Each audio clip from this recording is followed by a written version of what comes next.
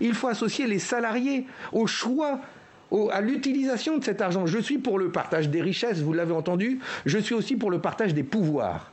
Et qu'au sein des entreprises, les salariés eux-mêmes puissent dire que cet argent public serait utile pour moderniser tel outil de travail, pour acheter telle machine, pour former tel salarié. Mais ça veut dire qu'on va rester, sur la question des fonderies, puisque c'est un, sujet que vous suivez particulièrement. Hier, l'État a octroyé un, prêt pour euh, éviter la liquidation à trois fonderies, dans l'Inde et dans la Vienne. C'est un prêt de 10 millions d'euros.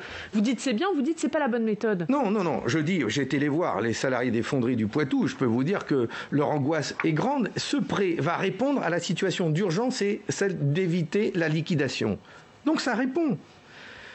Mais si c'est le prêt, point barre, ça ne suffira pas, puisque le problème des fonderies du Poitou, c'est de pouvoir continuer à produire là-bas de, mémoire les carters qui servent à Renault notamment.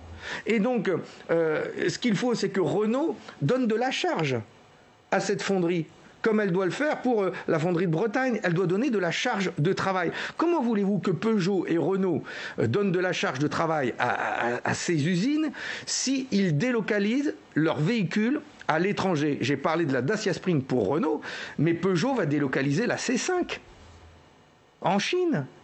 Voilà, enfin, euh, et ça, ils le font en, recevant de l'argent public, l'argent des contribuables.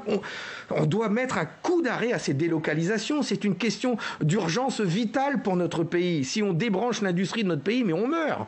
C'est comme une, enfin, c'est comme un goutte à goutte, quoi. On a perdu un million d'emplois en l'espace de dix ans. Il faut arrêter. C'est le grand déménagement industriel dans notre pays. On doit y mettre un coup d'arrêt. Ça, je peux vous dire que dans la campagne des présidentielles, c'est ce que je souhaite mettre en débat. Chacun se déterminera mais il faut une loi immédiate pour stopper les délocalisations dans notre pays. Une loi pure et simple qui interdise les délocalisations. C'est possible, ça peut être fait en quelques semaines et au moins on arrêtera le grand déménagement industriel.